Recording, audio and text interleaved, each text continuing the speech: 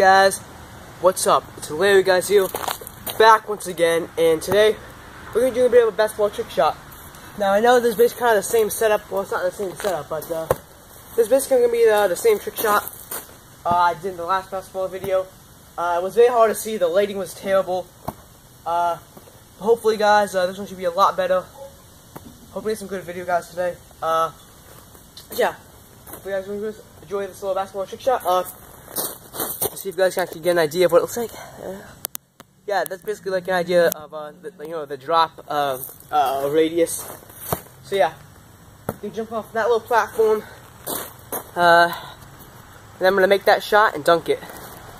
Uh, so yeah, hope you guys enjoy it.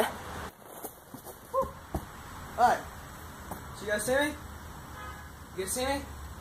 Yeah, you guys see me. Alright, nice. Let's do this thing.